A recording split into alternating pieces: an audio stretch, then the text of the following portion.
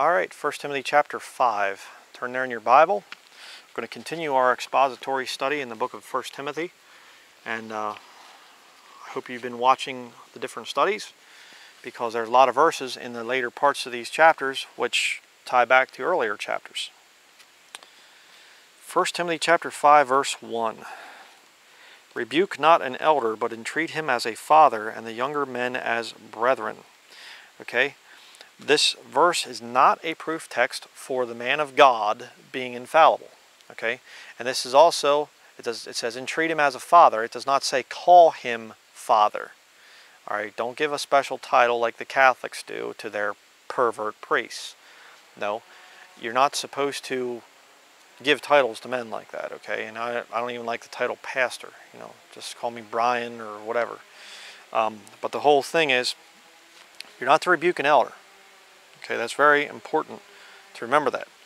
1 Peter chapter 5 verse 5 says, Likewise ye younger submit yourselves unto the elder, yea, all of you be subject one to another, and be clothed with humility, for God resist, resisteth the proud and giveth grace to the humble. Let me switch notes here real quick. That was the end of the page there, but uh, the fact of the matter is, you are supposed to um, be submissive to people that are older than you. Okay, you need to respect somebody who has more years of experience than you do. Um, when you have somebody who's young and very um, brash with their words, and they don't really think much before they just rebuke elderly people, bad situation. You need to respect people that are older. Now, as we read in the last study, 1 Timothy chapter 4, it says that uh, let no man despise thy youth.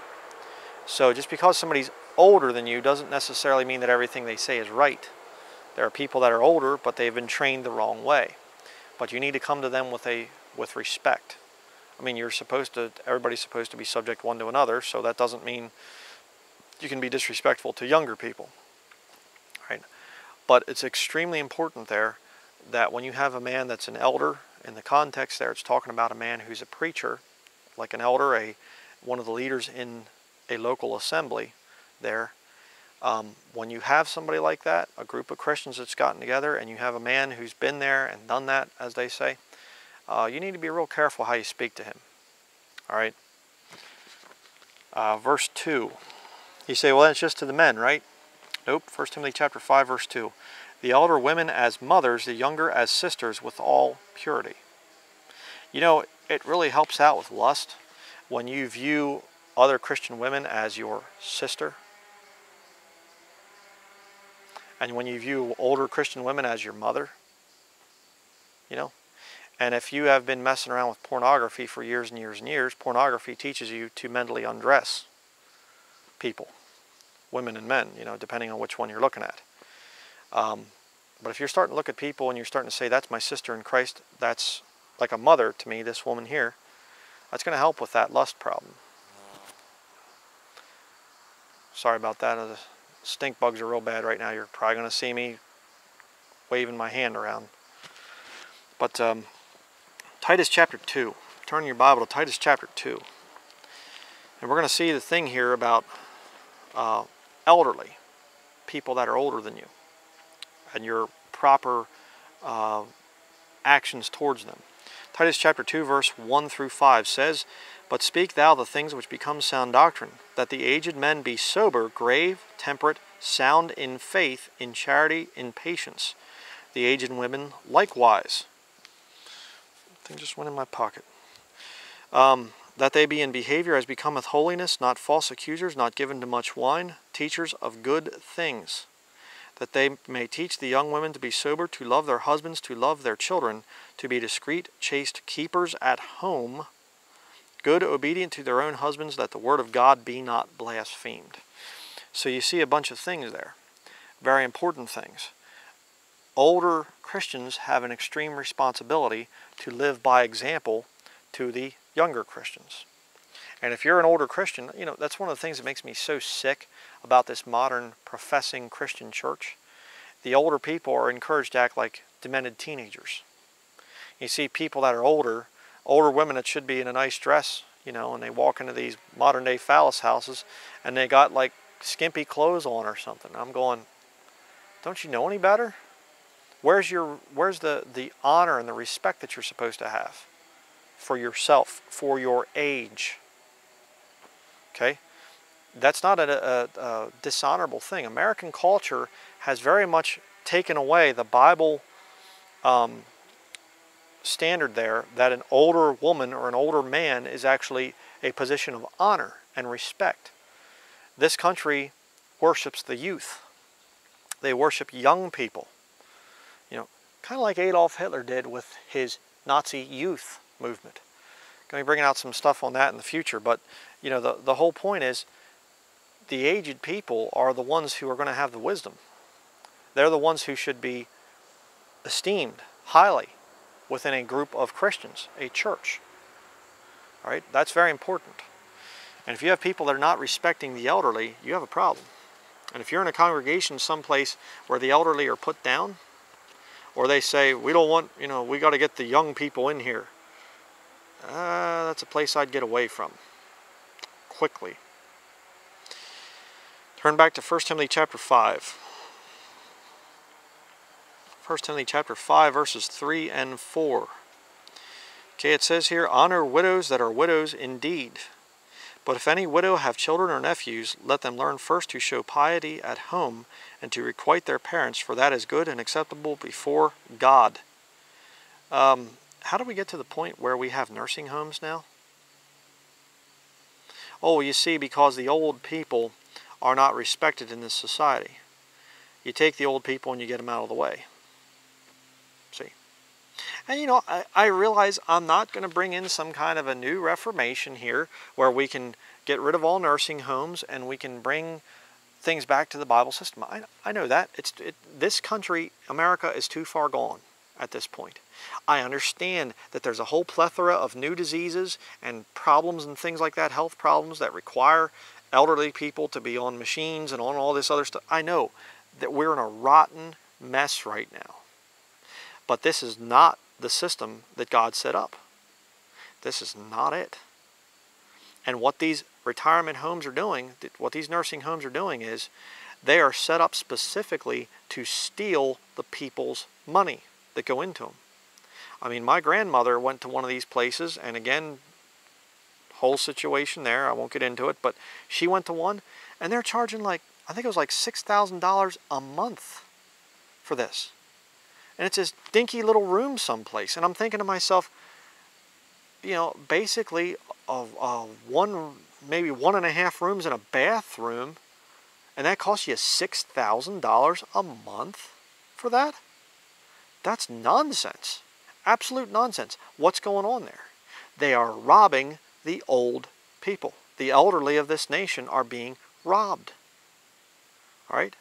There's not much more that's, that's more wicked, other than maybe a faith healer, um, than a lot of these retirement homes.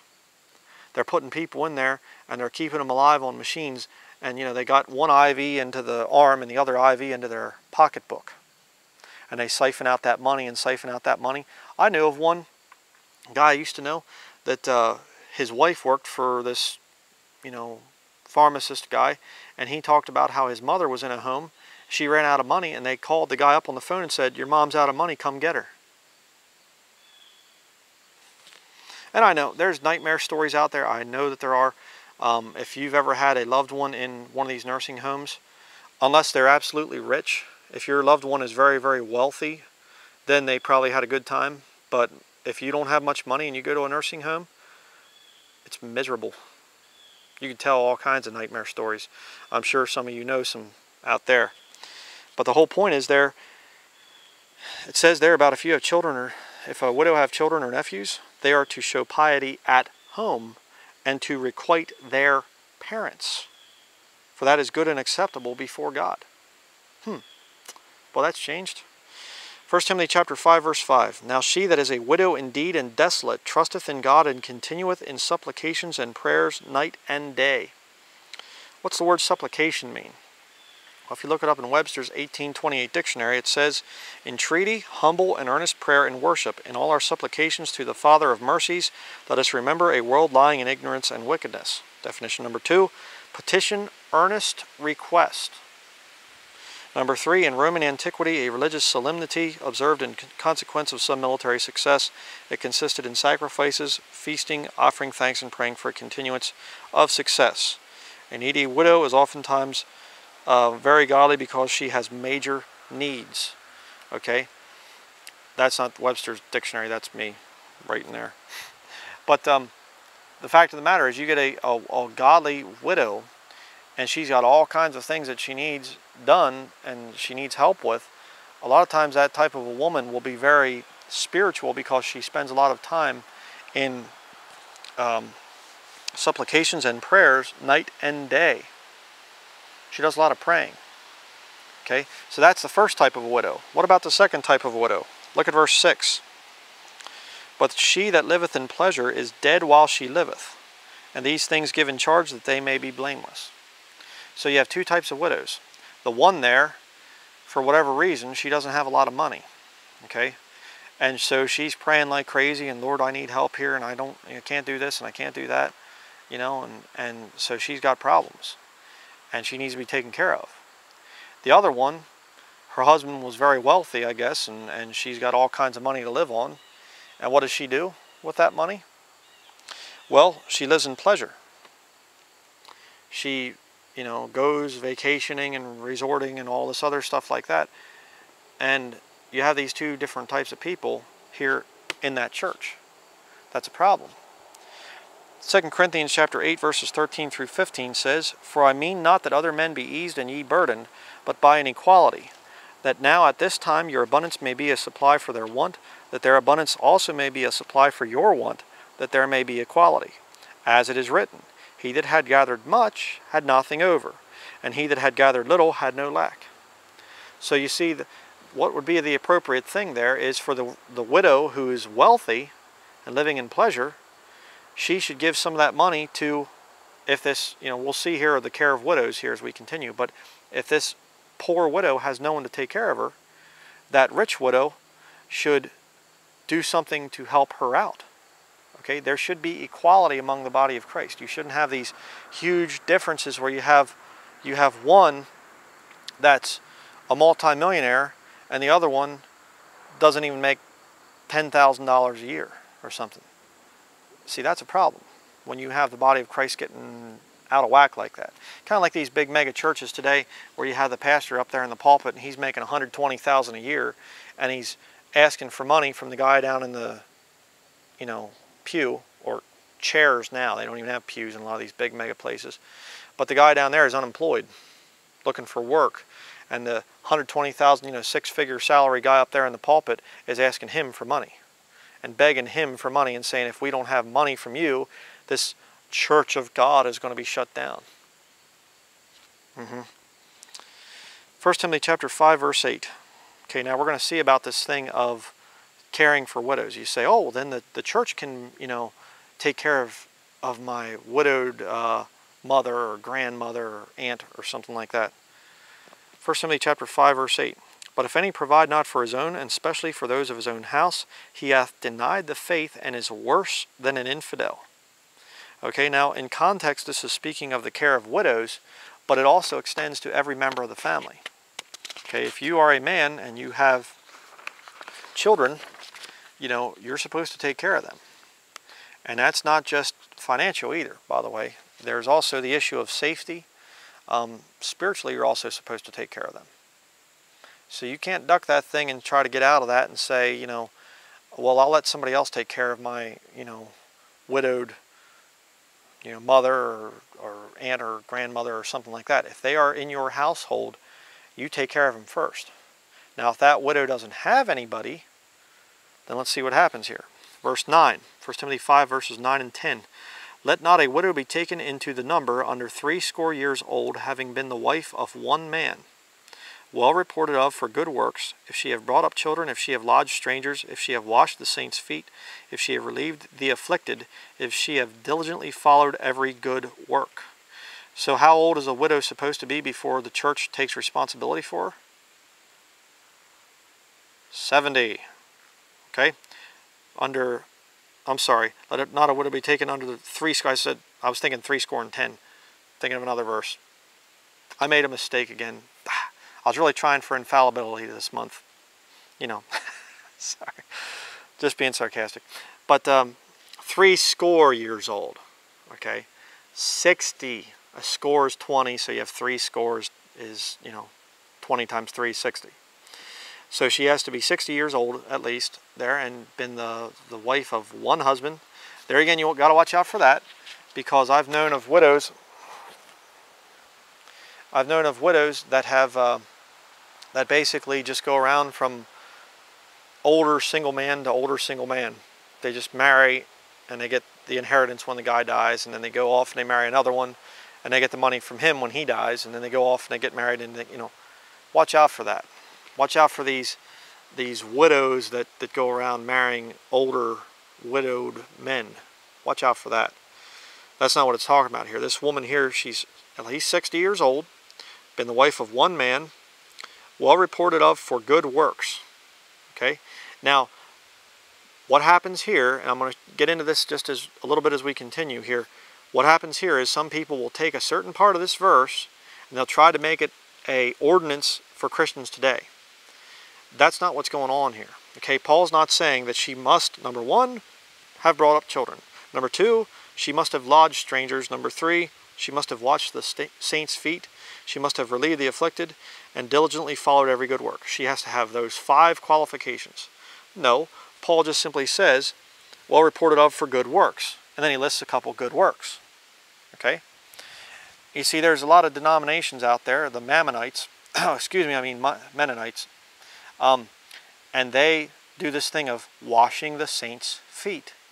And they say this is an ordinance, just like baptism or communion or things like that. And they'll actually have the men wash the men's feet and the women wash the women's feet. And you know, they say, well, that's, that's done here in the Bible, so we have to do it today. Uh, well, there's just one problem with that. Um, it only appears one time in the Pauline epistles, and it's right there. 1 Timothy chapter 5, verse 10. Now, if it was a requirement that all Christians are supposed to be doing this thing, like baptism or communion, well, you know, wouldn't it be written about more than that? And see, what was the deal with washing the saints' feet? Well, back then they wore sandals. And they were in an area where there was a lot of kind of a desert area. It was very dry, very dusty. So washing your feet was something that was a normal, very important thing. Okay, um, it was just something that was there. Uh, most of us don't live in an area where we need our feet washed every day. Okay, um, because of dust and things like that. Now, you know, there's health issues there and stuff. You need to make sure you're clean. But the point is, it's not the same thing. All right, and there are other good works that a Christian widow can do today that are not in that list. All right, there are, there are different things there you might get a Christian widow that sews something for somebody. You know, she's very good with her hands. She can make things with her hands and give them to people and things like that. She's she does a lot of good works. So don't fall for this thing of you have to wash the saints' feet. It's a Christian ordinance. No, it is not. That's not true. All right, 1 Timothy chapter 5, verses 11 and 12. But the younger widows, the ones that are under 60, the younger widows refuse, for when they have begun to wax wanton against Christ, they will marry, having damnation because they have cast off their first faith. Now, if you remember from the last study, this word faith does not mean here that this woman, she's damned because she lost her salvation. That's not what it means. It means her first faith there is the faith of Christianity. And that the practices of a Bible believing Christian you can get somebody who's saved and later on in life they cast that off and what's it lead to? It leads to the destruction of their life. They have not saved themselves from trouble. They cast off their first faith and they receive damnation. Their life is made like a living hell, you might say, here on this earth. Why? Because they cast off their first faith. They do not follow the Bible anymore. Doesn't mean that they lost their salvation. Got to get that thing down. But what's the word wanton? She will begin to wax wanton. What does that mean? Wanton, I'm just going to read a couple of the definitions. There's a whole bunch in Webster's 1828 dictionary, but we'll just read a few. Number one, wandering or roving in gaiety or sport. Hmm. sportive, frolicsome, darting aside or one way and the other. Wanton boys kill flies for sport. Definition number three wandering from, from moral rectitude, licentious, dissolute, indulging in sensuality without restraint, as men grown wanton by prosperity. Definition number four more appropriately, deviating from the rules of chastity, lewd, lustful, lascivious, libidinous. Okay? Uh, definition number six loose, unrestrained, running to excess. All right, so you get some Christian woman and she was a good woman and she's married to a good guy and everything else. The man dies, her husband dies for whatever reason, and now she's a single woman and she starts to go out and she starts to, you know, really live it up and stuff like that, you know, because her husband, I guess, had money and now she's got money, you know, she's living in pleasure, you know, and she goes out and she's making all kinds of trouble, and uh, that's not right. It's not the way it's supposed to be. And what will happen is, when a woman gets like that, she'll actually basically receive damnation to herself in this life. She's saved, on her way to heaven, but in this life, she's going to make a mess of her life and of other people unless you stop her.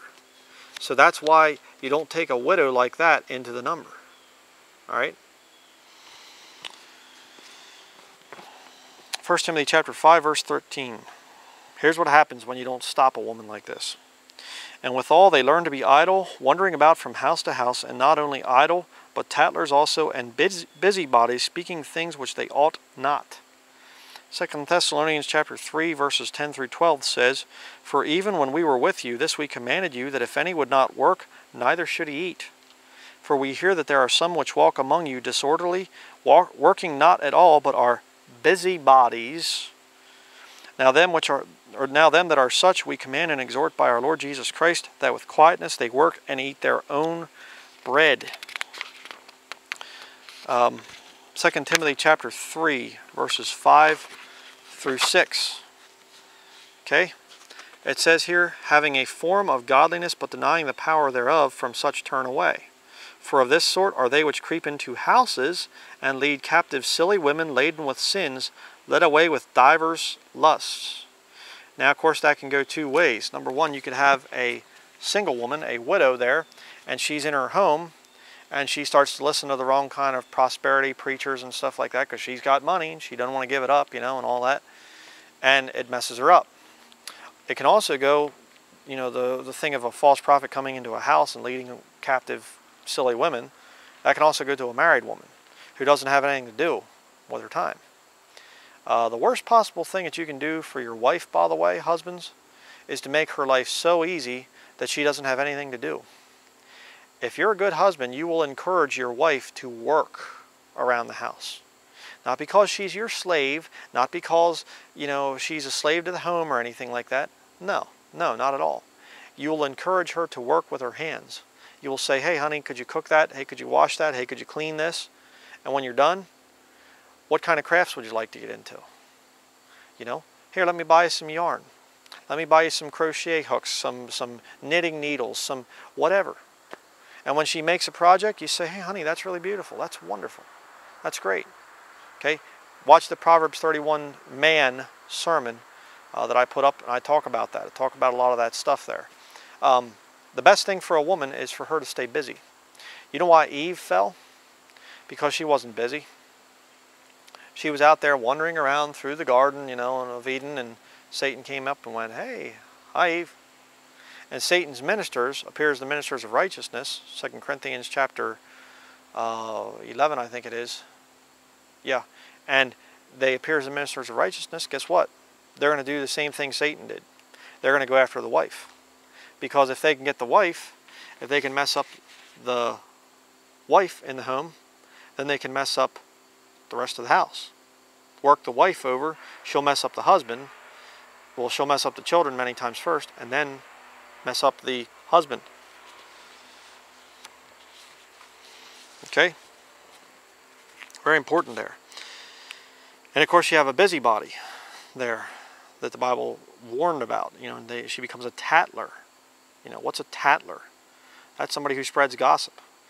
Very interesting here. Proverbs chapter 18, verse 8 says, The words of a talebearer are as wounds, and they go down into the innermost parts of the belly. Did you ever tell something about somebody that you shouldn't have told, and the Lord convicts you, and it feels like you've been wounded in the stomach? You feel like, I shouldn't have said that.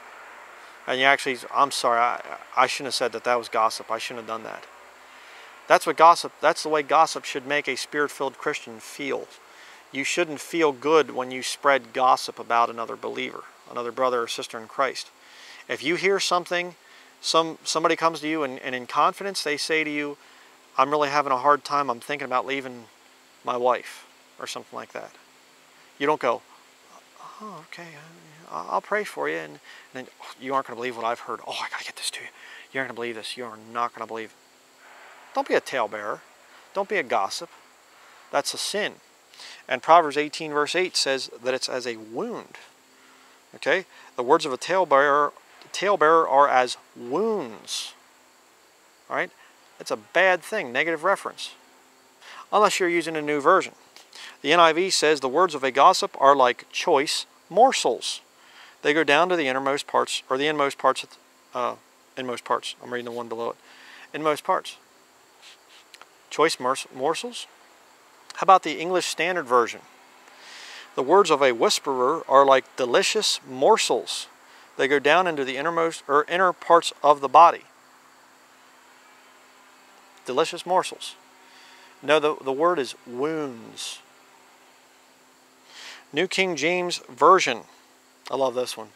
The words of a talebearer are like tasty trifles and they go down into the inmost body. Footnote. Go down to the footnote. Proverbs 18, verse 8. Uh, it says here, a Jewish tradition reads wounds. So it's just a Jewish tradition there. Notice the Word of God says wounds. That's the right word there. Um, if I told you, um, I have two options for you today. Number one, you can have a wound or you can have a delicious morsel or a tasty trifle.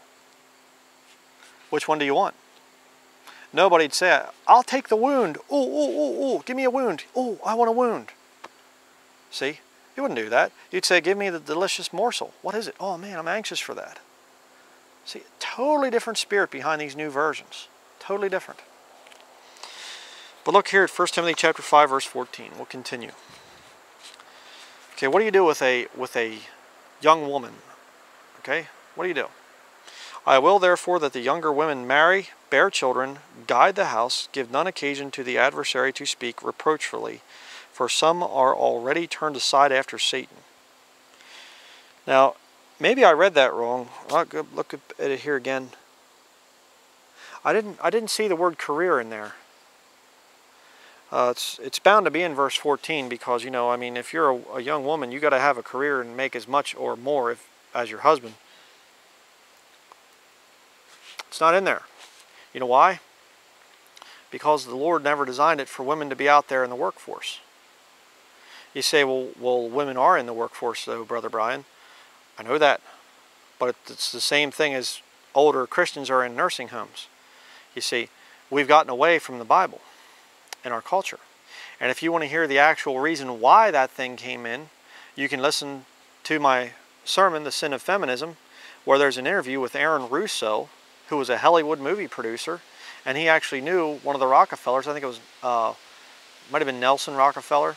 And this Rockefeller guy said that the reason we brought in, he said they, that the Rockefeller Foundation actually funded the feminist movement for two reasons. Actually, I'm sorry, for three reasons. Number one, create more taxable income. If you just have all the men out there working, well, that's only, you know, 50% of the people. You get the man and the wife, now you got more taxable income. Second reason, break up the family. Yeah. Oh, honey, I'm sorry, I got to go to work. And the wife goes off to work. And the husband's off to work.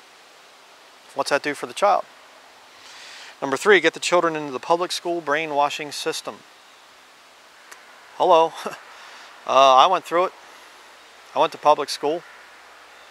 12 years plus kindergarten. You know, 13.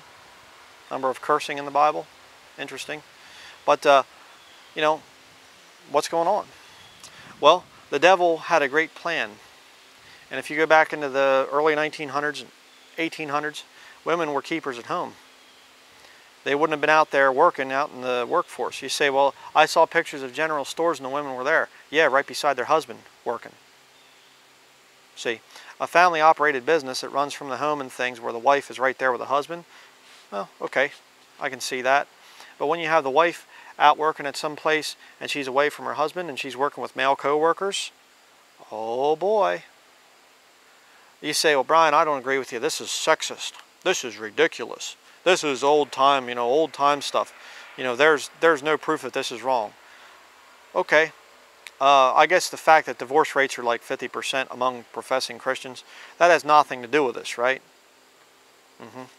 The wife goes out and she's saying, well, I make enough money, I can do this stuff on my own. I don't need my husband. And hey, that guy down there at, at, uh, at my job, you know, we have good conversation. I could, I could run off with that guy. I mean, he's interested in me. My husband doesn't even pay me attention, any attention, you know. See, it's, it's just the whole system is bad, okay? And what happens is a woman, a young woman says, I'm not going to get married. I'm not going to seek the Lord's will for a husband. I'm not going to be busy at home. I'm not going to be a busy keeper at home. I'm going to go out into the workforce. And what happens? She's turned aside after Satan. I can prove it. I can prove it. Thousands upon thousands and thousands of cases of women going out into the workforce and they get messed up. Time and time again. And children that go off to public school when they should be at home being homeschooled, and they go off to public school and you know they get messed up. They start to deny the the teachings of the bible and they start to hate god and everything else. It's a bad situation. Very bad situation. And you know you say well brother we have to have two incomes. Do you? You know we have one income. And it's not that much money either. You know if you think i'm getting rich you know being in ministry you you're kidding yourself. Okay I'm not getting rich. You know, I thank the Lord for for uh, the support of God's people, and I thank the Lord for the money that we do make. But uh, there are times we were eating celery and carrots, you know, carrots and celery for for meals. Okay, um, times we were eating potatoes for a couple meals. Uh, weeks where we went without any meat at all. Um, and you say, "Oh, that's such a shame." No, yeah, you know, it might be to some people, but, you know, that's how we made it. You sacrifice. I drive a 1994 Ford pickup truck that I've owned for many years. It's got a big dent in the back side. It's got all kinds of rust problems and stuff. Runs great, you know. Oh, you brother, you got to have a new vehicle. It might let you sit someplace. Well, it might. But then again, the Lord might keep it running like he's been doing for years now. You say, what kind of vehicle does your wife drive? Um, she sits in the passenger seat. What do you do when she has to go food shopping? I go with her. Brethren, there are ways that you can save money. There are ways that you can cut corners and do things so that your wife can be a keeper at home. You say, brother, we got all kinds of debt. Then get out of it. Get out of your death pledge, mortgage, you know. Do what you can. There are lots of things. I'm telling you right now, that's why we are doing what we're doing, buying land. You know, if I told people, if I was standing here beside a, a cliff and I said, hey, come on up here, jump off. That water's real nice down there. It's plenty deep. You can get in there. People say, uh, did you ever jump off this and go down in that water? And I'd say, oh, no. But, I, you know, I recommend it. Well, that'd make me a hypocrite, wouldn't it? Well, what I'm trying to do, what we're trying to do, my wife and I, with the thing of debt-free living, we'd be hypocrites if we said you can live debt-free, but yet we aren't living debt-free. So we've been working very, very hard to pay off any debts that we have. And now the Lord, if you've seen last week's video, the Lord has provided us with a property because God's people have been praying for us and the Lord has provided us a place. And it's very, very, very low cost. Very low cost. Uh, we're trying to live as cheap as we can. Why? So that we can show other Christians how to do it other Christians, it is possible to live in this world today without being in debt to a bank someplace. See? That's why we're doing what we're doing. Yeah, it'd be easy to just go and get a mortgage and go and get some big house someplace and try to make the payments every month and all that other stuff. That'd be easy. We could do that, but we don't want to do it that way. We want to try and forge a way and say, okay, here's how it works for us. And I can tell you right now, if you are thinking you need two incomes to survive, I don't agree with that. And you say, well, brother, that's just the facts. That's the way it has to be right now. Then God's wrong? Then the Word of God is not correct? You say, well, that was for back then, this is for now. Uh, wrong.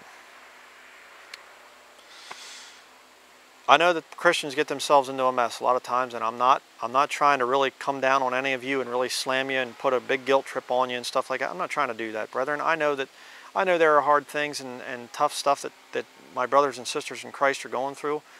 But you know, when you try to live by God's word and you say, you know what, the Bible says it, that's the way I'm going to live, God will help you with that.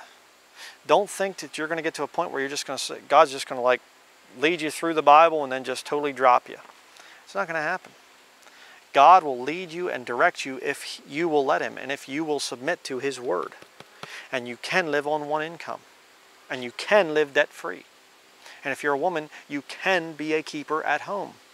There again, one of the things of being busy with your hands, if you're a woman, so Satan doesn't come in and start messing with you, one of the best ways to stay busy is to work on things in the home that can save the family money.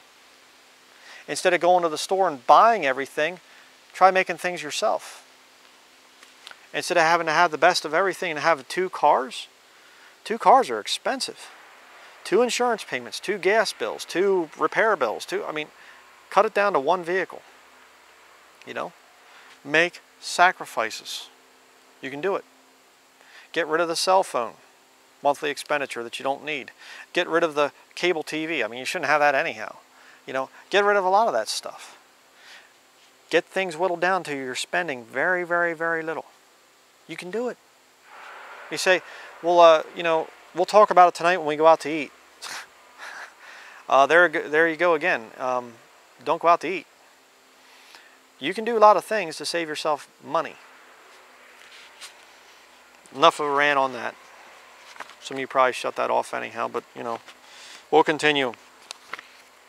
Verse 16. 1 Timothy 5.16 If any man or woman that believeth have widows, let them relieve them, and let not the church be charged, that it may relieve them that are widows indeed. Okay? So what's being said here is this thing of taking a woman, a widow, into the assembly there, into the church, to take care of her if she's three score years old or older. Um, if she has family, then you don't say, well, it's the, whole church's uh, responsibility. No, it's your responsibility. That's the way it should be. And you should, you know, you say, well, Bryan, you know, you said the nursing homes and all that. Yeah, I know, I know. But if there's a way that you can take that widow into your own home and take care of them, do that. Okay? Again, the Bible says to do it. The Lord will help you. Don't think for a minute that, that God's Word is, is no longer good for today. If you do it by God's Word, He'll help you get through it. Oh, but it's going to be difficult. Yes, doing things the right way is difficult. All right, verse 17. Let the elders that rule well be counted worthy of double honor, especially they who labor in the word and doctrine. Okay, now what's the double honor there? Well, first of all, you have respect. Getting back to the thing of respecting the elderly. You got a man who's an elder, you don't go up to him and act like a little punk to the guy. All right? Understand that, you know, a lot of times people come to me and they say, well, you didn't cover this or you didn't cover that. Well, yeah, I know that. I can't cover every single point in a sermon. You know, don't come to me and act like I'm stupid or something because I didn't cover the point that you thought up in your mind. All right? When people come to me in, in humility and say, hey, in a respectful way, Brother Bryan, I know you said this, but doesn't the Bible teach this? You know, and a lot of times I've responded back and I say, yeah, it does. Actually, you're right. I should have made a mention of that. Thank you for bringing that up. I try to have humility with that. Now, you know, you get somebody that has a little pet doctrine that I don't agree with, and they bring it to me and they say, you have to submit to what I believe the Bible teaches. And I say, no, I'm not going to do that because you're wrong. You know, I don't believe you're right. And then they go away in a huff of, he's not correctable. Well, if I'm not wrong, then yeah, uh, you're not going to change me, you know, if I don't see your case for it. You know, and I get some people and they're like, you know, I want to carry out a long email debate with you. You know, I get some, I got this guy here recently wrote me and he was my video I did against Steven Anderson where I said about 10 questions that Steven Anderson can't answer. And this guy answered, you know, in his mind anyhow, he answered my 10 questions and then he said, write back, I want to have a formal debate with you and post all this stuff online. I'm not going to waste my time on that. Why? Because I can't take the time. If I take all my time answering all these other people out there, I'm never going to come out with new information. I'm never going to be coming out doing the job that the Lord's called me to do. The Lord did not call me to be a professional debater. That's not my calling. My calling is to teach the Word of God. So I'm going to focus on that. And if I see, hey, somebody just has a quick little, hey, Brother Bryan, I know you said this, but the Bible says that. How do you explain this? I'll answer that. Might take me a little while to get back to you, I'll answer it. But you get these people that say, I want to carry out this long, it's going to take multiple emails. I don't have time.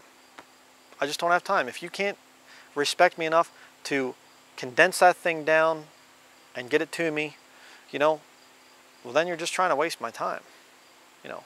Especially if I've already answered your questions and you come back, yeah, but what about this and what about that and what about, you know, you know, whatever. I mean, hey, if, if you get so convinced that I'm a false prophet and whatever else, start up your own channel, make your own videos, spend, you know, start up a ministry exposing Bryan Denlinger. I'm sure the Lord will bless that, you know. Uh, whatever. Okay?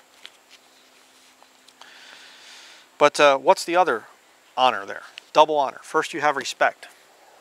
Then you have what? Income. That's the other part of double honor there. Respect them, but also make sure that that guy's supported. Okay? You say, how do you know that? Well, continue to first verse 18. 1 Timothy 5, verse 18. For the scripture saith, saith, Thou shalt not muzzle the ox that treadeth out the corn, and the laborer is worthy of his reward. Now, if you notice there in verse 17, it said about especially they who labor in the word and doctrine. Um, you say, who should I support, Brother Bryan? Who's, who would be a good ministry to support? Well, look for a man who believes the King James Bible and labors in the word and doctrine. If some guy's standing up and just giving you these little automated, you know, you can tell he didn't spend any time at all putting the thing together and he's and he really doesn't know what he's talking about and whatever else. Some little hireling in a church building someplace. Yeah, I wouldn't really waste much money on somebody like that. But there are good ministries out there, local church Bible publishers. I mean, they local church Bible publishers, they put out King James Bibles for just over what it costs them to make them. They make very little money there. I've always recommended you give money to somebody who's going to pu publish the Word of God, somebody who is who is actively engaged in printing this book. You know, that's who you should give your money to. Give your money to people who are putting out the Word, laboring in the Word and doctrine.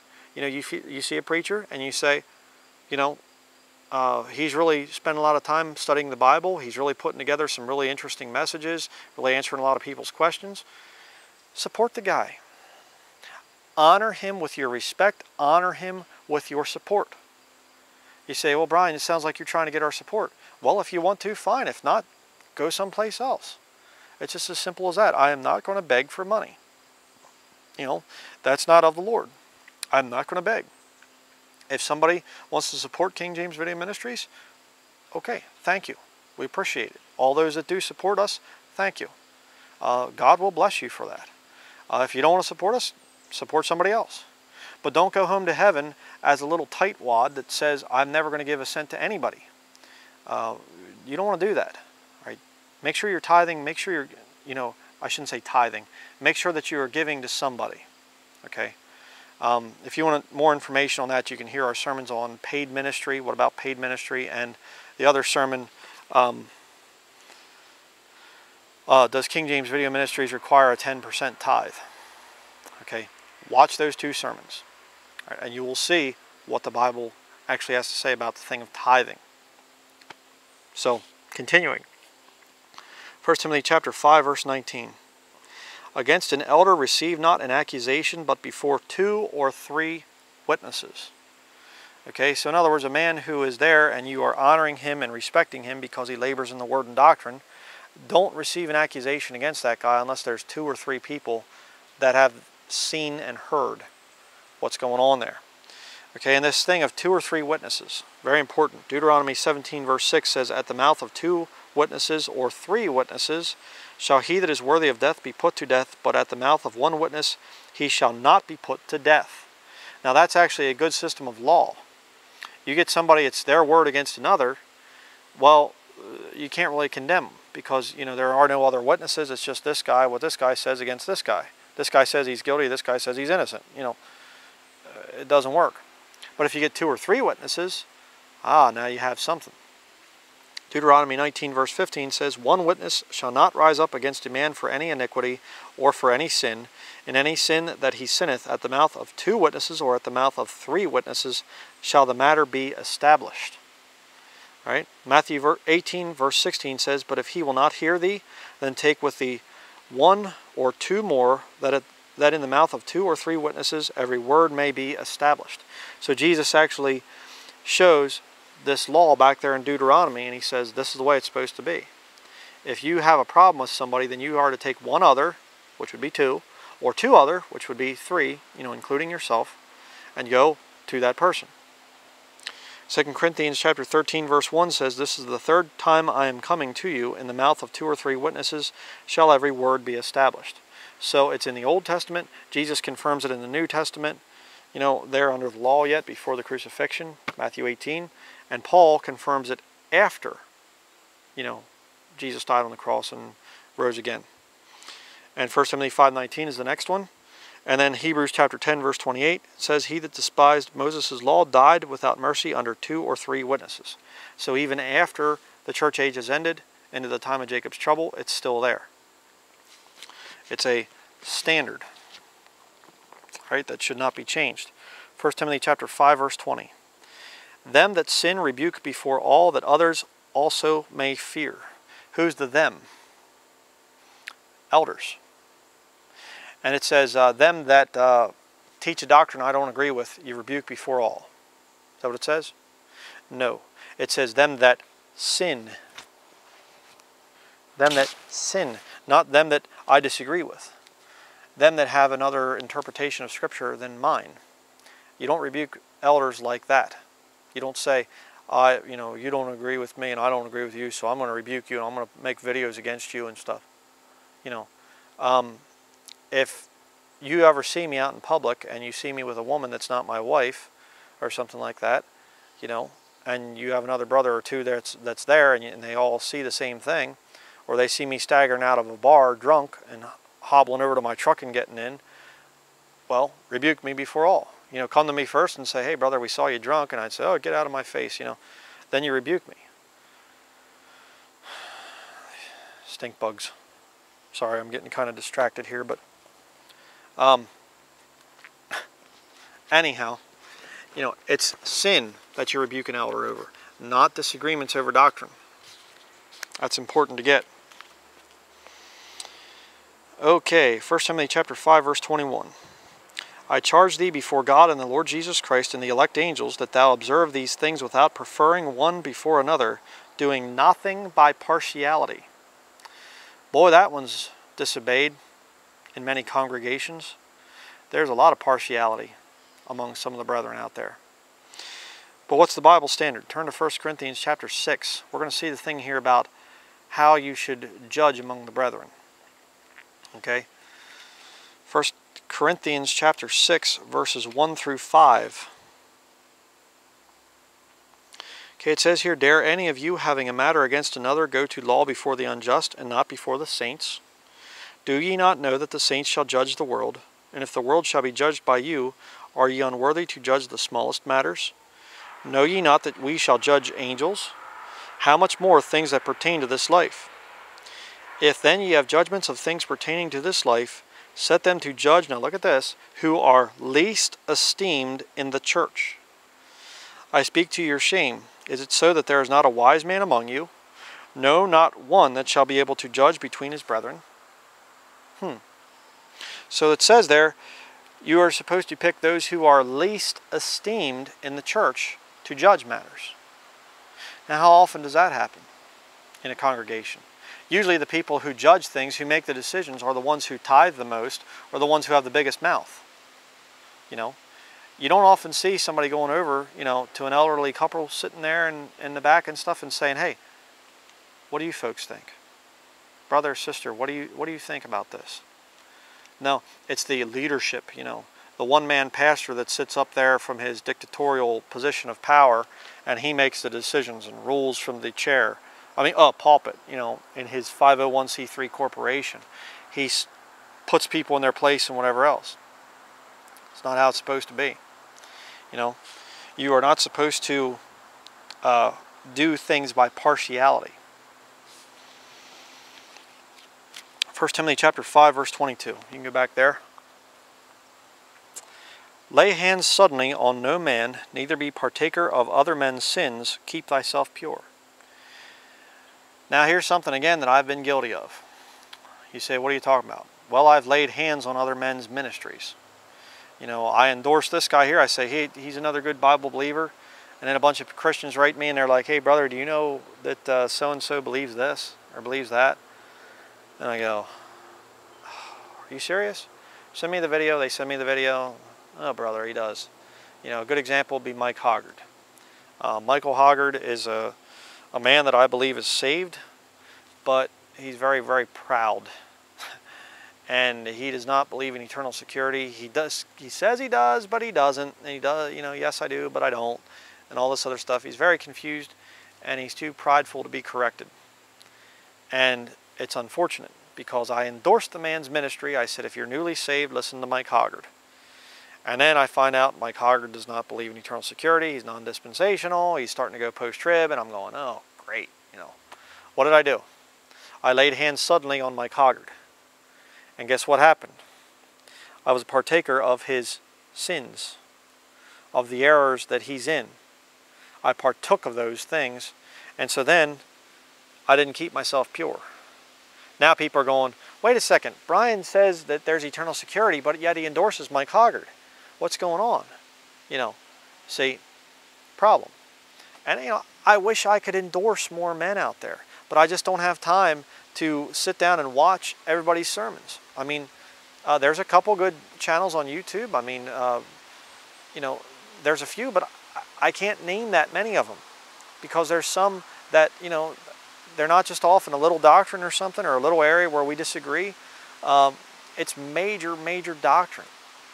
And if I send people there, they start getting messed up. You know, I can't endorse people. It's a shame. Okay? Now next we're going to go to the alcoholic's favorite memory verse. The modern day alcoholic. Look at verse 23.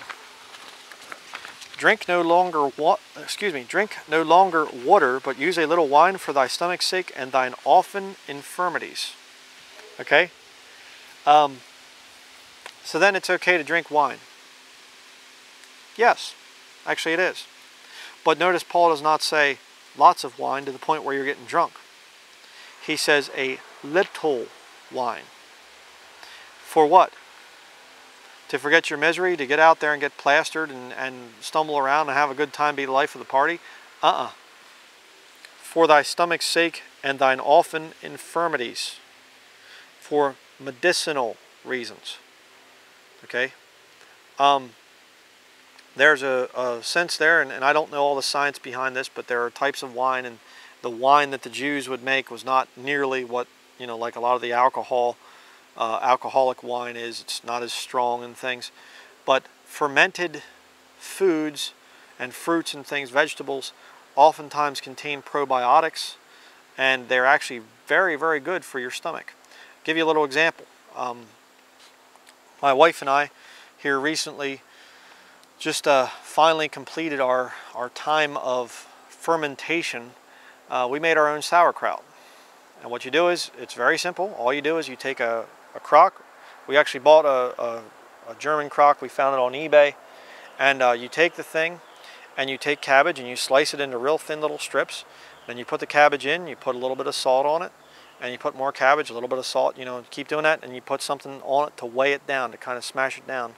And then you just let it sit like that in a cool, dark room. You don't put it in a refrigerator or in the freezer or something. You just put it in a dark place and then it ferments. And it'll get moldy on top and everything. You scrape that off, and it turns into sauerkraut. A lot of people go, eh, sauerkraut's disgusting. Well, actually not really. Um, when you make it yourself, it turns out very good. And um, it has probiotics in it, and it's actually good for your stomach. Quick little story. Uh, my older sister, uh, she lives on a farm, and she knows an older man.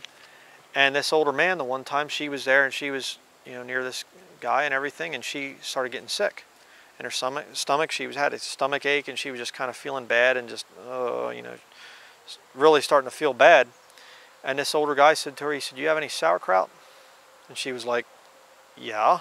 And he said, uh, "Homemade, you know, sauerkraut?" And she, yeah. And she said, uh, or he, he, said to her, he said, uh, "Go get a spoon and get some of that liquid, and drink that sauerkraut liquid." And she was like, "Oh, you know," she was. She said she almost threw up just at the thought of that. She was like, "You want me to drink sauerkraut liquid, sauerkraut juice when I'm feeling sick?" Are you nuts? And he said, Do it. So she went and she got the sauerkraut juice and she drank it. And about an hour or so later, he said to her, he said, Hey, how you feeling? She's like, Fine, what do you mean? And he said, uh, You were feeling sick earlier. Yeah, I was. What was going on there? Well, the fermented cabbage had probiotics which are like antibiotics somewhat, you know, and they get into the stomach and they get rid of, you know, infections and things like that. And they actually can make you feel better. So you get somebody who is starting to be sick and they are drinking a lot of water.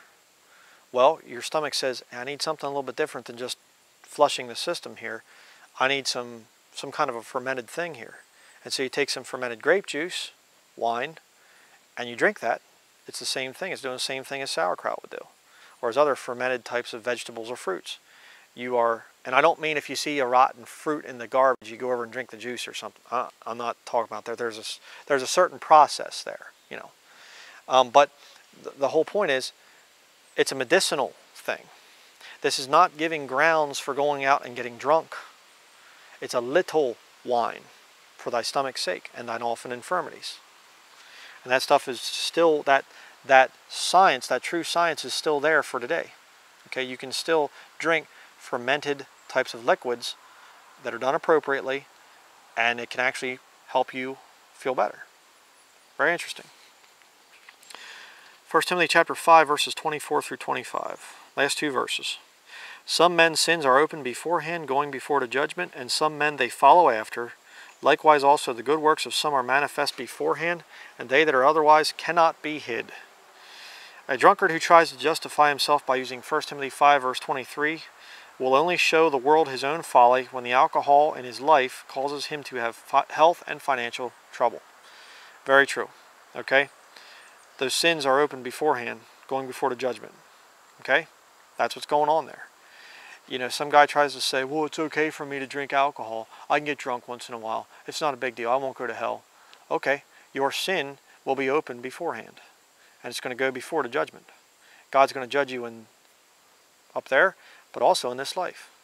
And you're, you're going to find that you're going to get sick and you're going to have all kinds of trouble. If you tarry long at the wine, you know, like it says back in Proverbs, talks about back there, you're going to have problems you're going to have a bunch of problems.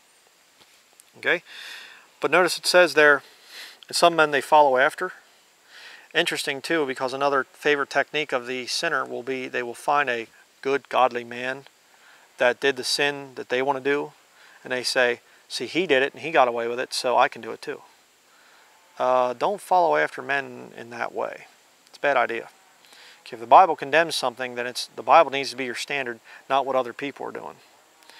Okay, and then it says, likewise also the good works of some are manifest beforehand. All right, a true Christian will who avoids alcohol says, I just you know I don't even really need to go there. You know, if I get sick, well, okay, maybe then I'll take some fermented wine. You know, for my stomach's sake. But they say for the most part, I'm just avoiding it, and definitely drunkenness. I'm going to avoid that. They'll have a good life, and they'll show no hypocrisy in their profession. Okay, and there's a lot of other sins too that could fall into this category whereas a Christian you should avoid certain things and you know that those good works that you do will be manifest to other people. You'll live a good, clean life. Okay? But says there in last part of verse 25, they that are otherwise cannot be hid. Those Christians that are basically fake and they start messing around with sin, you know, but when they come to church, you know, they're living a totally different life. You know, before long, that sin is not going to be hid anymore. Just like the pastor that I mentioned in one of these studies there that uh, was a PhD and pastor of the first Baptist church I went to after I got saved, Cornerstone Baptist Church. And the sins that he had in his life that he wasn't taking care of, those sins couldn't be hid after a while. They came out. The truth came out. And I can guarantee you, if you are messing around in sin, if you're messing around with drunkenness, you got that bottle of whiskey hidden back someplace where nobody knows, you know, and you get on the internet and you look at pornography, uh, be sure your sins will find you out. You will not get away with that forever. If you sow to the flesh, you will to the flesh reap corruption. That's why you're supposed to have a good conscience before God, a good thought life. I'll tell you what, brethren, that is scary stuff. Because I know a lot of people don't have good thought lives. For years and years and years, I didn't have a good thought life. It took work, lots and lots of work, to get away from that whole, uh, the sins that I was messing around with. And if you're messing around with sin, it will come out eventually. You will make shipwreck of your life. So get those sins confessed, get them forsaken, and serve the Lord Jesus Christ with the life that you have. So that's going to be it for 1 Timothy chapter 5. Let's close here with a word of prayer. Dear Heavenly Father, I thank you, Lord, for the challenge from your word. And Lord, it's so easy as Christians to want to base our truth on the standards of society. It's so easy, Lord, to to just say, well, other people have nursing homes and other people don't take care of widows and and for the women out there, they say other women have jobs, other women have careers. Um, but Lord, that's not the standard. The standard is your word. And if your word says something, Lord, then I, then we should be doing it. I should be doing it. And um, Lord, I just pray that that uh, if there are Christians out there that are not in line with these scriptures, that they would do what they can, Lord. I know things are very challenging right now. I know that there's a lot of problems and things. But Lord, I pray that, that Christians would, would feel convicted enough to want to live by your word and live by the standards of your word, Lord, because that is the only way we can find true happiness and true joy in this life. The only way that you can truly bless us is if, is if we live according to your word. It's not easy, Lord, but I, I thank you, Lord, for putting me on that right path just in the last two years, really getting on the right path with health and things like that. I, I thank you, Lord, for that and for the blessings that you have given us. And Lord, I just uh, pray for all those out there that they would stay true to your word. And um, if there's a woman out there that's listening, that she would stay busy and uh, not allow the devil to get in and start messing with her. And if she's having thoughts about turning against her husband, Lord, I pray that she would repent of that and get away from that. And uh, for the husbands out there, Lord, I pray that they would protect their wives and give their wives things to do in the home and encourage them to to be the keeper at home that they're called to be by your word. And I just uh, pray all of these things in the name of our Lord and Savior Jesus Christ. Amen. All right. That would be the end of 1 Timothy chapter 5. Next week we're going to do 1 Timothy chapter 6. Uh, of course, I'm recording these sermons back to back because there's going to be a lot of work that we need to do where we're going to be traveling a lot and things. So, uh, you know, please keep us in your prayers as we we do have property now. And like I said, thank you for everybody out there praying. But now we have the added thing of okay, now we got to actually get there. We're going to be doing closing here.